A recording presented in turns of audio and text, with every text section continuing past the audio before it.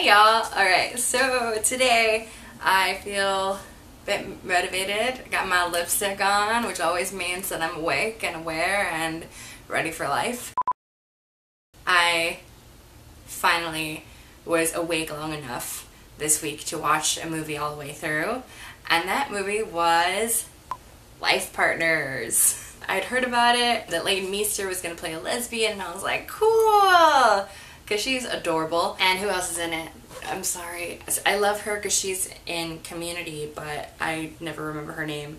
Her name is Gillian Jacobs, and she's adorable too. Right, so the story is about Gillian and Leighton Meester playing two characters. I'm sorry, I don't remember their names already. Sasha and Paige. So Sasha is the character that Leighton Meester plays, and she's a lesbian, and Paige is Gillian, and she is the straight girl. In most movies, where you have two girls and one is straight and one is gay, you usually are rooting for them to be together, that the straight girl will like figure herself out. It's always a coming out story. But this one actually wasn't and it was so cool and it just kind of looked at the dynamic of female friendships because female friendships are like that. Whether you're gay or you're straight, like female friendships are so cuddly and cool and vulnerable and honest and they talk about everything and it was just so cool to watch that in a movie. It was pretty cool and there was a lot of lesbian jokes in there like the the rule about how everybody has already dated everybody in the community because there's only so many lesbians in your city so everyone knows everyone and you basically just have this big giant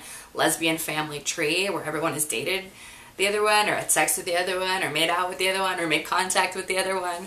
I was the second I saw that I was like, you have a lesbian on your writer staff, right? I think the characters are pretty relatable. I think that Paige, the straight character, is looking for stability. Both of them are. Um, and they're looking for, you know, they're almost turning 30 and so they're getting, you know, that like almost 30 life crisis where they don't really know what they want with their lives. Well, at least Lane's character is and because she's just like a receptionist and doesn't know if she wants to do music anymore and she's in a very confusing time. While Paige seems to have it all together and now she's getting a boyfriend and in their friendship the boyfriend you know takes priority over the best friend. I don't know why that happens but it happens. And when that was happening of course this is heartbreaking for Sasha because she's being replaced and left behind and she's already confused about stuff and now she's alone in the confusion in the confusion because she can't even talk to her best friend about it. If you're familiar with Toy Story, Toy Story kind of touches upon those feelings but for kids. That is a that is a very common feeling. That is something that we all go through. We all get replaced at one point or another. We get replaced in our jobs, we get replaced with our friends. Pattern that's very common is like you'll have a best friend for a certain period of your life and then a new best friend for another period of your life or your best friend is replaced by your relationship which takes a big commitment and a big priority in your life. The person that gets replaced, it's heartbreaking because it it is kind of like getting dumped.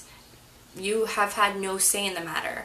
This person just, you know, got a new best friend or or got married or had kids and then you're left behind. Oh, don't get emotional. It's the medicine. but yeah, it's a very real thing to to understand and be emotional about is is how people get replaced all the time. So now, in case you didn't catch that the first time, because it took me a while to catch it, now you know why you get really upset about Toy Story and about how Woody feels about being replaced by Buzz in that first film. Leighton's character reminded me of me only a few times. I definitely have a ritual to like go to the drive through and eat in the car by myself because I don't want to eat inside.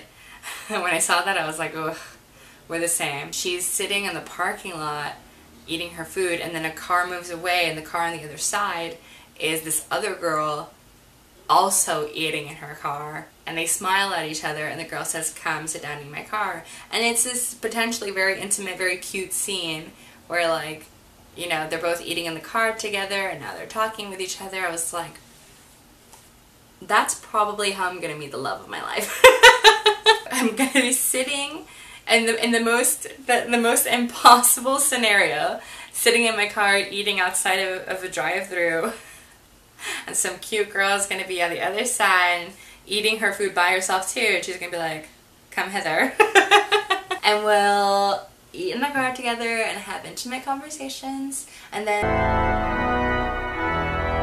This is basically how it will go. The ending of the film is not like this weird temporary happy ending. They bump into each other and they carry on from where they left off and they're still best friends and the end. Some of us were best friends and we may be, you know, far away from each other for whatever reason because we're busy or because we're in different places, but you find each other and then you just pick up where you left off.